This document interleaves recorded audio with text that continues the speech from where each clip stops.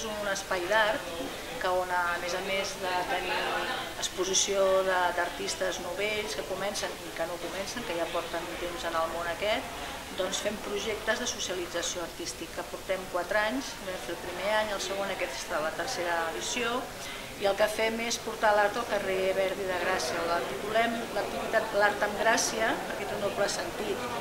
És la- l'art amb el barri de Gràcia, l'emblemàtic barri de Gràcia, i la gràcia que tenen tota la gent que hi participa.